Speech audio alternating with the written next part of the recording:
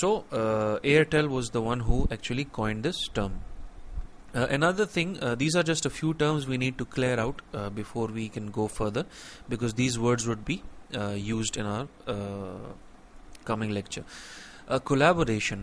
Collaboration is very important for teams, and collaboration is exactly the reason why teams are actually being made. Collaboration means working together to solve complex problems. Now, um, the purpose of teams itself is the element of collaboration, right? Uh, what is a team? Team is a unit of two or more people having a shared mission and responsibility towards a single goal, right? Uh, there is nothing complicated in that. Uh, they have a shared mission uh, and shared responsibility moving towards a common goal. Uh, then two teams we can uh, we can find two types of different um, teams uh, problem solving teams uh, sometimes called task forces and committees. Uh, these two types of teams uh, you will find in any organizational setup on a regular basis. Yes there might be others as well. Problem solving teams are basically they're assembled for specific issues and then disbanded right? This type of team is make made for a specific issue uh, for a temporary period uh, often short periods of time and they are cross functional cross functional means that people from different areas of expertise uh, they mostly come together and work on a problem uh, if you talk about a business so maybe people from uh, there must be people from finance people from marketing uh, people from hr people from operations etc so people from different uh, different department or people of different specialities they come together they work on a specific problem for a short period of time and then the group is disbanded. Uh, on the other hand we have committees. Now committees are structured groups they have a bigger lifespan than uh, the problem solving teams or task forces. And most importantly they deal with uh, regular occurring tasks right? Uh, tasks that regularly occur in the organizations. Uh, so this is why these committees are made and they are for a uh, comparative, comparatively for a longer period than problem solving uh, teams or task forces. Now what are the advantages of teams right? Why do we make teams?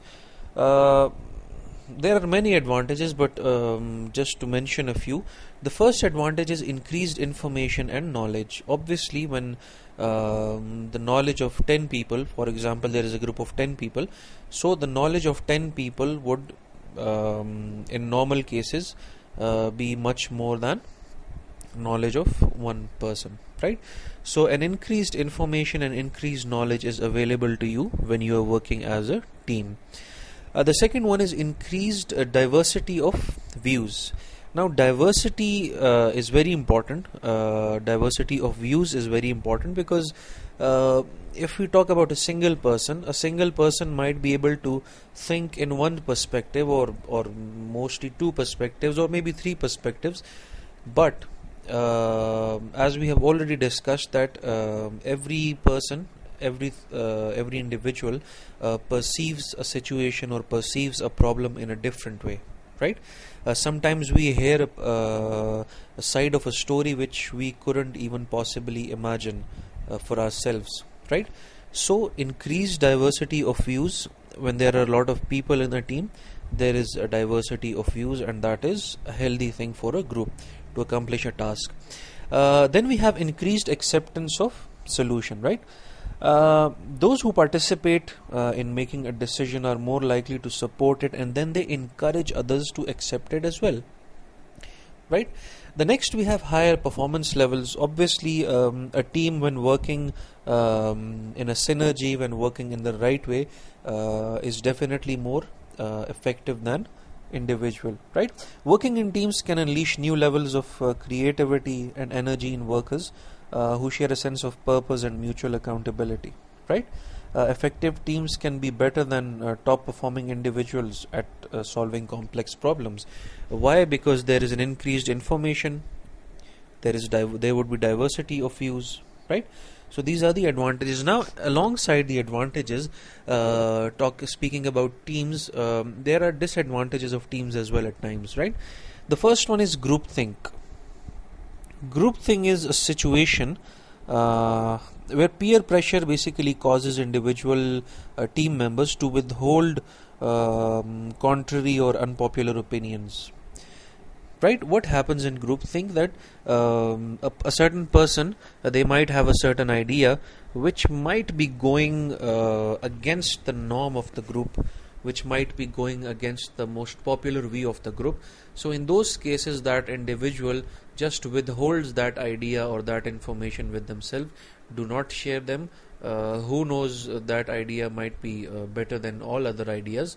But due to group think but due to that group pressure uh, people most uh, often do not share uh, unpopular opinion in the group right the next disadvantage is hidden agendas now this is a very big problem and it occurs often occurs occurs often sorry uh, it occurs often, um, especially in our region or, and almost every everywhere. Uh, there are certain people or um, a group of people inside groups, and uh, what they do is that they have some hidden agendas. They have some uh, specific other uh, intentions, right? So when they communicate in group or when they uh, operate in group they actually uh, they they are not working for the um, for the goals of the team they are actually working for certain uh, goals of their own which may actually hurt the actual purpose of the team so it is a disadvantage uh, then we have cost uh, mm, teams are always hard to manage because you have to align the schedules, you have to arrange meetings, you have to coordinate all the individual parts of a project. So these things can uh, they can be costly, right? Uh, then we have overload. Some companies have um, embraced collaborative work approaches um, to such extent that they are overloading their employees uh, with team assignments. And most often, what happens that if you perform well in a group, the top performers of the group uh, they are actually um, in most cases uh, they are given even uh, bigger workload right uh, because they because the management or whoever is actually making those decisions uh, they are aware of the fact that these certain people they are efficient they work better. So as a result uh, they keep getting more and more work which can be problematic of course for those individuals who were previously achieving uh, better goals right? Uh, then we have characteristics of an uh, effective team what are the characteristics which an effective team should have? Uh, these are just few basic ones. We will uh, go through th through them quickly. Uh, clear objective. The objective of the team must be very clear. Only then the team can be working effectively. If there is a confusion in the objective of the team if people are not uh, clear enough or people are not aware of the fact that what is the the um, objective of this team what are we uh, trying to achieve here uh, then there would be problems right? So the objective should always be cleared uh, there should be a shared sense of purpose right? All people should be aware and they should be sharing right? They should be sharing the sense of purpose they should be aware and they should all be uh, involved in it totally right? Involved in what? Involved in the purpose. They must believe in that purpose right? Uh, the next thing is strong sense of trust. Strong sense of trust is very important between the group members. Uh, if there is uh, if trust is not there if there is a trust deficit then it will definitely uh, make the team ineffective. Openness and honesty. Uh, all communication they must be honest they must be open. Decisions by consensus all the decision individual decisions uh, must not be taken. Uh, whatever decision is being made by the manager of a team uh, or even the team individuals uh, they, it must be by consensus right? It must be discussed and all members of the team must be agreeing to it. Uh, then we have uh, think creatively. Creativity is very important. One must find creative solutions out of the box solutions to go by the problems uh, then we have uh, knowing how to resolve conflicts. Now, whenever there are teams, there will definitely be conflicts. Now, conflicts does not necessarily means that two people are fighting each other and maybe hitting each other with bats or something. Uh, difference of opinion is also a form of a conflict, right? maybe there is a difference of opinion over a certain point right? So these type of conflicts initially they uh, they are small they do not uh, mean much but uh, they can uh, they can result into uh, horrible things for a group. So a team must always know how to resolve conflicts. And the last one and the most important one i believe is that belief that their work matters. Whatever they are doing whatever is the objective or purpose of the team the team members must believe that whatever they are doing it matters it is important it is significant it is going to play a role in the society or a business or anything right? So these are the characteristics of effective teams. If you have these qualities in a team uh, it will most probably be an effective one. Uh, group dynamics. Group dynamics are the interactions and processes that takes place within a team. Uh, whenever there is a team these four things would always be happening in those teams. Number one, assuming team roles. Number two, allowing the team to evolve. Number three is to resolve conflicts. And number four is overcoming resistance. Now, these are the four different dynamics which uh, should be happening in a team, right? And they often do.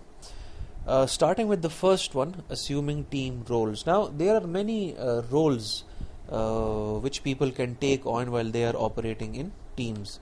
Uh, broadly categorized in three uh, different uh, uh strata uh, self oriented roles, team maintenance roles, and task oriented roles. Now, self oriented roles, as the word suggests itself, uh, these, ro- these roles are actually taken up for some personal objectives, for personal advantages, for personal goals, right? But the other two, uh, team maintenance roles and task oriented roles, they are more team related, right? So the first type of role, self oriented roles, they can often be problematic. Uh, they they can often be uh, a problem for the group or the objectives which the group want to achieve. But the other two, they are on the good side for the team. Uh, they are not on the basis of individuality they are for the collective benefit right? Not for the individual benefit. Starting with the first one self-oriented roles. First possible role can be controlling. When people start dominating others by exhibiting superiority or some kind of authority. And it happens in almost in every group. Even in your friend circle if you if you look closely uh, there must be one or two people who are actually uh, most of the time controlling a certain group they're dominating others by exi- uh, exhibiting some kind of uh, superiority right? Then there is another role it is called withdrawing. Uh, retiring from the team either by becoming silent or by refusing to deal uh, with a particular aspect of a team's work. Sometimes what happens that uh, something is going on in a team and there is some person who just uh, becomes totally silent or uninterested and does not participate uh, participate in the team activities or maybe they refuse to a certain part of the work which they do not want to do. Now talking of the team spirit uh, all type of work must be done if you want the team to uh, achieve success whether you like that part or not but you need to do it. Uh, a simple example I'll give you uh, normally uh, when we play cricket with friends uh, we love to bowl, we love to bat, but we never like to field, especially in summers in an open sun. It is a difficult job, but we still do that, right? Uh, because this is a team spirit. We do not like fielding, we do not like running towards the ball, uh, or maybe standing in the sun for a very long time, but we need to do it. That is the team spirit. So maybe if a person just denies it and he um, he or she um, uh, denies to do that job. Mm, for example she wants to bat she he or she wants to ball but um, she won't uh, or she or he won't uh, want to field then we would say that withdrawing is actually happening here. Attention seeking it is also a very common behavior in groups which we find uh, even in your class um, um there there must be uh, some controlling people, some withdrawing, and some attention seekers. Uh, what are attention seekers? They call attention to oneself, right? Uh, and demanding recognition from others. they just somehow want to be in the spotlight they just somehow want to be topic of the discussion right so attention seekers are also uh, at, at at times they are problem creators uh, then there is diverting role uh, focusing the team's discussion of topics of interest to the individual right? Uh, rather than those relevant to the task. Uh, mostly in simple words what they mean that they just divert the focus of the team from the actual goal to towards something of their own. Maybe some topic of their own or maybe uh, to their to their to, to oneself right? So uh, these are the four self-oriented roles. Then we have team maintenance roles. We have encouraging here we all know what encouragement means drawing out other members by showing verbal or non-verbal support or appreciation right? Uh, we have harmonizing uh, harmony. Harmony means that uh, the differences among the team members they must be eradicated uh, through through any means maybe through mediation between them or maybe using some uh, humor to relieve tension of a certain situation. Uh, then we have compromising role uh, compromising means offering to yield on a point in the interest of reaching mutually acceptable decision. Most of the time what happens that a certain person may not be angry agreeing with a certain point uh, but due to uh, but for the collective benefit or for um, uh, collective good uh, they just let go their own original point and try to agree with what others are already agreeing with then we have task oriented roles. Initiating it is very important getting the team started right? There always has to be someone who has to get the team started right? Uh, information giving or seeking. Uh, this is also a role a positive role. Um, uh, offering or seeking information relevant to questions facing the team right? Whatever task is at hand uh, for the team uh, the attention seekers or attention givers they seek or offer information related to that. Then we have coordinating showing relationships among ideas uh, clarifying issues and summarizing what the team has actually done. So basically all the coordinate coordination job. Uh, procedure setting suggesting decision making procedures that would move the team towards the goal. So these are the um, possible roles which a team member can take when working in a team uh, the second thing was allowing team for evolution. Now, evolution is very important. Uh, the, you can see a process, five step process. Uh, this is how teams are made, and this is how teams evolve. Right? Uh, evolution means that uh, teams should not be static. They should be dynamic. They should be changing from time to time according to the needs of the situation. Right? You can never be static so for that purpose maybe we need some new members in the team or maybe we need just um, a little overhauling of the existing members of the team right? So it starts with orientation. This is when the team members they meet they socialize uh, they get to know each other and establish their roles. That is the first point.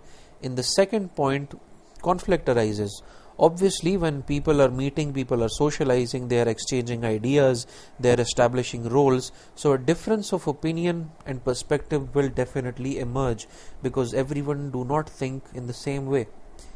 Right? So conflict will emerge. There will be a difference of opinion. Uh, then in the third point brainstorming happens. Team members they explore their options. They evaluate their alternatives. They discuss things. They think about possibilities, right? So after brainstorming, the fourth step is emergence. The team reaches to a consensus on a chosen decision. Conflict arose in second point.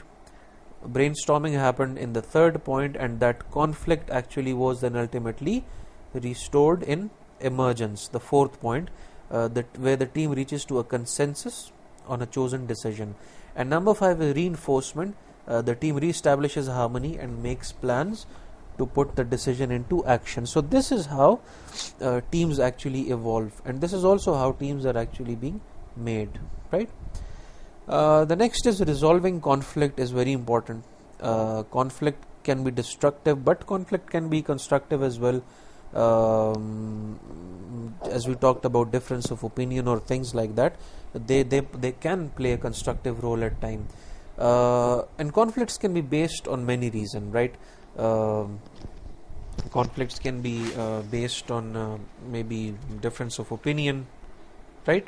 Uh, conflicts can be there can be many uh, conflicts can be like uh, maybe disagreement over some goals or responsibilities uh, maybe a competition for some resources maybe due to communication maybe due to the personality or attitudes of some people or values or cultural differences. It can be anything right so in order to resolve the conflicts the teams need to be proactive first point right?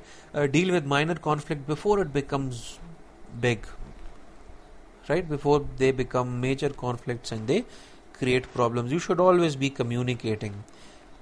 The group should always be very open in communication because communication is very important uh, in resolving conflicts. Uh, openness everything should be out in the open whatever you are feeling your feelings should be out in the open before you actually try to deal with the problems uh, research facts and figures numbers we should have them properly before trying to look for a solution. Uh, flexibility means don't let anyone lock into a position uh, before considering other solutions, right? So you should always be flexible. Uh, fair play. Fair play means that um, you should always look for fair solutions, right? Which are fair for both the parties. Uh, none of the uh, concerned parties must be uh, treated unfairly. Uh, then we have alliance, uh, get opponents to fight together against an outside force, right? Yes, there must be problems within a team. There often are small little problems but when the team is up against another team or maybe someone from the outside then the original team members uh, they must act together as a team. Right? So this was about resource uh, sorry this was about resolving conflict. Uh, then we have overcoming the resistance. Uh, resistance is natural uh, and resistance happens right? There are lot of resistances when you are in a group or in your team. Um, some people might be resisting to do a certain job which is allocating to them right? Which is allocated to them. So whenever you encounter resistance or some kind of hostility uh, you should try to maintain your composure and uh, address the other person's emotional needs right uh, mostly uh, resistance or hostility or these type of problems uh, they are uh, they are mostly emotional. Most of the times they are emotion and when someone react at that time mostly they are emotional. So first of all you need to stay calm. Uh, first of all you need to address the emotional needs of that person right? If he's angry if he's desperate so what is the reason behind it? You should try to uh, settle that uh, active listening plays a very important role in it. Uh, listening whenever you are in a group or maybe you are managing a group you should always be a very active listener. Active listening means that you should listen and also understand what the other person is saying. Try to understand it with empathy right? Uh, then open line of communication. Uh, communication must always be open. There must be no barriers uh, between communication and the last one is collaborative effort right? Um, uh, collaboratively as a team uh, everyone should make an effort so that resistance can resistance can be countered right? So that was it for today. Uh, inshallah in the next lecture we would be talking about communication in the teams but today we just had to clear up uh, a few things about teams uh, that was it for today. Uh, hoping for a good uh, question answer session in our live class. Uh, quote of the day is in front of you. Read it and implement it in your lives. Have a good day. Allah hafiz